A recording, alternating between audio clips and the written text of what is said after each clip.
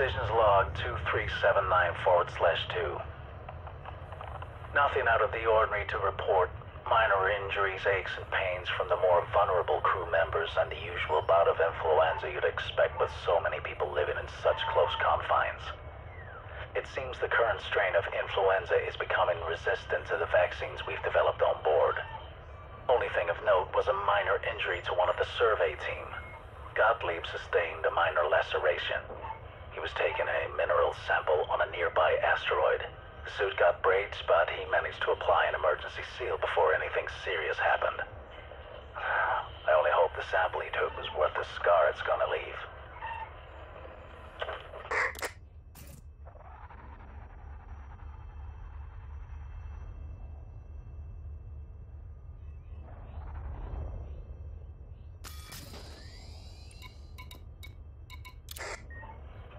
Physician's log 2387-8. We have an emergency. The strain of influenza infecting the ship has become completely resistant to any vaccines or treatment we can find. 13% of the ship's population has now succumbed to the infection and so far 8 have died. I've initiated emergency measures and quarantined the infected. The epidemiologist, Dr. Monroe, is working around the clock to find a solution. I'm sure she'll come up with a cure before long.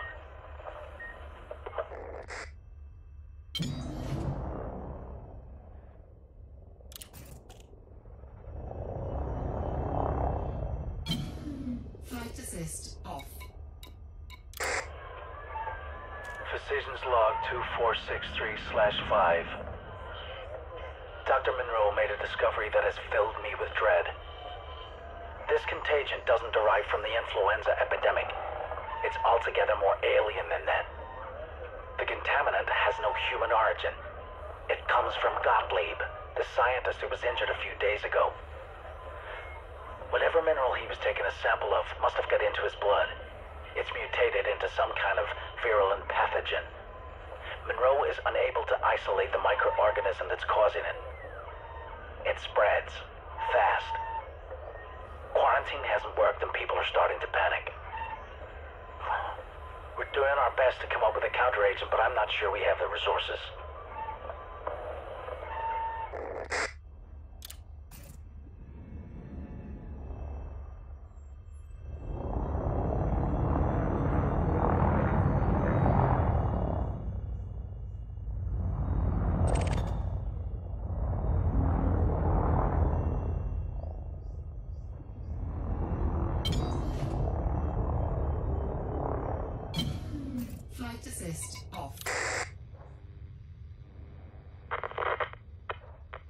Physician's log 2499-9. We are lost.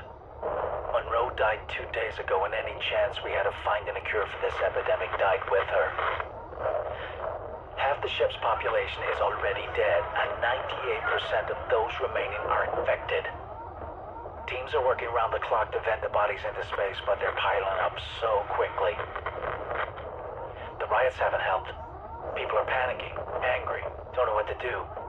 When you see your family die, I guess you just get desperate. I don't know what to do. Suppose I should do my job, but it's no use. At least I've avoided an infection. For now.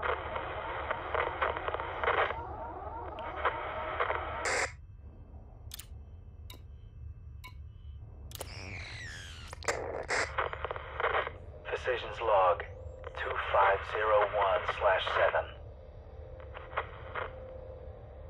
I knew I wasn't going to avoid contracting this thing forever. I'm one of... one of the last. This place is so quiet now. Used to teem with life, and now...